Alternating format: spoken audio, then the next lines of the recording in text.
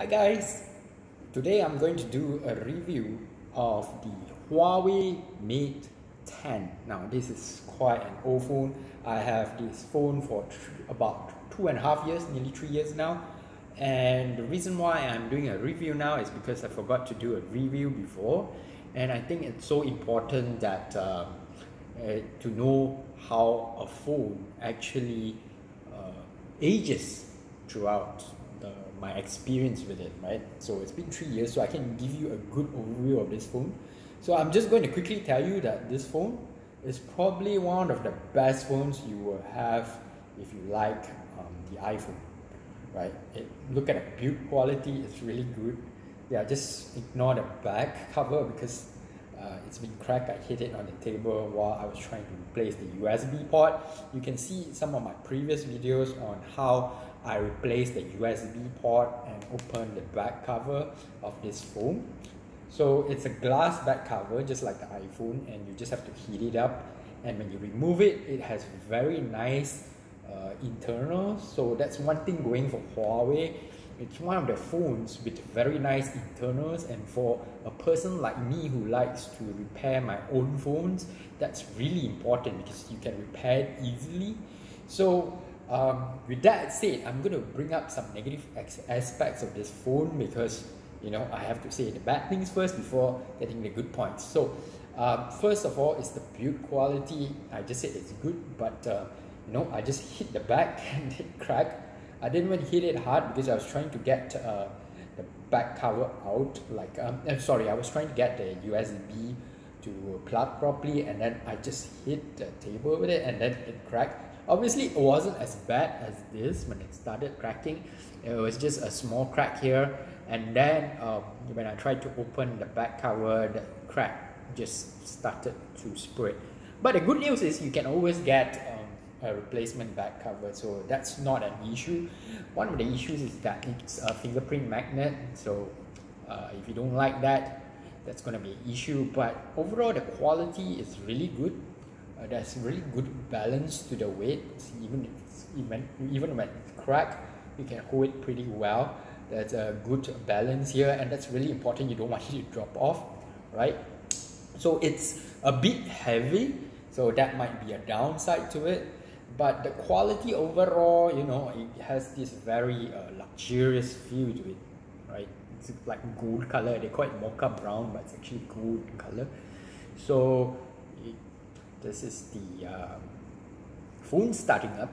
I'm going to tell you guys that even now in 2020, this phone is still worth it. It's going for quite cheap now. It's about, uh, I would say about maybe about 100 US dollars you can get this phone for second hand price if you look around so is it good is it fast look at this it's really fast right oh what am I getting at? I was supposed to be telling you about the bad points first right?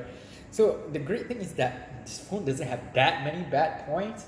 One of the bad points is that uh, for a Huawei phone it keeps updating itself when I tell it not to update itself. Somehow it still insists on updating itself. So when I put cancel on the updates it will cancel but um, suddenly I feel that I mean not that I felt it's just that it updated itself while I was uh, even though I kept selecting no I don't want it to update but it still updated itself so as you know there's a lot of issues with Huawei and privacy and security. Now, I'm going to tell you this, I'm not trying to take sides, but in China, you know, the government comes first, right? So, unlike Apple, where privacy of individual is more important, in China, government comes first. So, think about that. You're not going to completely trust this phone because if the government of China approaches Huawei for your information, well, they're going to provide it. They're not going to uh, hide that info from the government because the government comes first, the country comes first, China comes first. And that's not necessarily a bad thing for China because you have a wide population there. So I'm not going to get into politics. But what I'm trying to say here is that if you value your privacy and uh, your security, you might not want this phone. Or you might just use this phone for its amazing camera. You its fast speed. Uh, you can use it for camera speed playing games for that matter.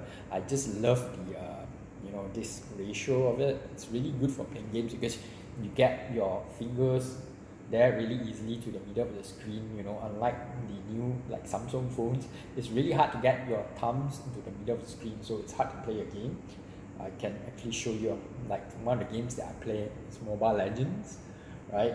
And in Mobile Legends, you when you want to control the character on the uh, screen, sometimes it's nice to have your thumb be able to reach all the way to the middle, right? So, uh, yeah, so that's one of the things that well, it's not loading here for some reason, but I'm going to show you guys another game. Right? And one other thing that I like is that it has this middle button, which is just like the iPhone. So when you press one time, it goes back. You can set it, by the way. Uh, you can set it to the normal, like on-screen Android buttons. But I find the middle button is just like the iPhone. So you just press it to go back. Long press it to go to the home screen. Let me just show you. So like on eBay now. Okay, now you you can uh, let's say you go to a website okay just my website which is shermanchin.com right uh, yeah you can see how fast it loads so so here you just press the back button it goes back to like the page before it so as you can see I just tap the middle button it becomes the back button. So if I tap it longer it goes to the home screen right? So it's really really impressive. I mean at first maybe you might want to get used to it. It's not that easy to get used to. Um, you might uh, because you are familiar with the the um, back button on the Android phone being to the right side, and then the left side would be the the um, you know the recent buttons like recent apps. But to get the recent apps in this phone, you just swipe swipe that middle button, and then you get uh, the recent apps as you can see here, which is a really really cool UI feature that Huawei has, right? Not many phones has this, and I find that really amazing. Like this is invaluable to me, and you'll notice that the recent Huawei phones don't have this. So the Huawei Mate 10 has this uh, middle. Uh, it's actually working as a fingerprint scanner as well. So say I lock the phone, right, and I just put my finger there it comes on immediately. That's just amazing. That's how fast it is. And this is 2020. In three years' time, I've been playing games on this. I've been installing stuff, and it works just like new. So that's really amazing. Uh, yeah, I, I just can't say how amazing it is. And uh, I feel that this phone has just everything that I need. It has the uh, earphone jack right? Uh, it has USB-C. Unfortunately, it doesn't have wireless charging. So as can, as I told you before, I dropped. I mean, I hit the phone. So and the USB port went inside. By the way, so that's a quality control problem that Huawei has. So make sure you get one of those magnetic uh, USB port chargers where you can put the magnetic what do you call that, that, that plug here. So it's going to not move that circuit board where the USB port is further inside and cause a problem with your phone. But other than that, this phone is really amazing. The photo quality for the back camera is amazing, right? You can have a look here. It takes photo really fast and it has like uh, AI so it can detect what is like in the scene so let's say I have my face here probably can detect my face really soon well I can't really show you unless I move it around but what I can tell you guys is that it's pretty amazing it has AI uh, it takes photos really fast and the front facing camera is the one that I like to use because you know when you are making videos, I always make vlogs like this. I'm also using a front camera on my other phone, right? Uh, it's actually the Note 9. So for this phone, it works really well. Obviously, it cannot compare to the Note 9 front-facing camera. Note 9's front-facing camera video is one of the best. But still, if you look at my videos, you can just uh, look below, just click on my name, uh, Sherman Chin, and you will see all my videos. Most of the videos are created with this phone's front-facing camera, right? I'm sure some of the, the videos are not that clear yes, that's the problem with this phone. The uh, Note 9 doesn't have that problem. I have no idea why this phone gets a bit blurry using the front-facing camera when there are too too many lights. I realize that. The back camera is really good. I can't really know. I, I mean, if you want to know the details of uh, the megapixels and stuff, just look at other reviews. I'm not going to get into that. I'm just going to tell you guys what I think of this phone in 2020 is it worth it? Obviously it's worth it now. It's you can get it secondhand for really cheap. I'm sure you can still get first hand from some shops that still have um, leftover stock. And it's going to be totally worth it because it comes with all the google apps you know the latest as you know the latest issue with uh, the huawei phones especially the mate 30 is that they do not come with google apps anymore because of the uh, you know of america imposing the uh, restrictions on them right so uh, what else can I say about this phone? It has a really nice uh, indicator of your like when you're charging when there's a message the indicator appears above, above. But one thing I noticed is that when you receive calls when you're playing games it interrupts the game which is really annoying for me. Uh, although there are game tools it doesn't seem to help you can set it but uh, somehow it doesn't really work well when you receive a call or get an SMS it will interrupt your game. So I'm not sure if that happens with many other phones but for this phone yes it's really really annoying. So I'm to show you guys like how nice it is to have this form factor of uh, you know like like this. It's a small form factor that the screen ratio is the best for playing games.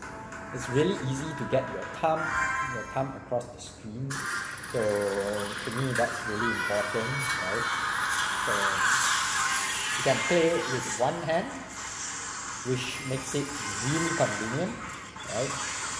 And then press the middle button and you straight away get to the home screen. So you don't actually press, it's not really a button, it's a fingerprint reader. So you just have to place your, your thumb there and just get to the to the home screen really fast.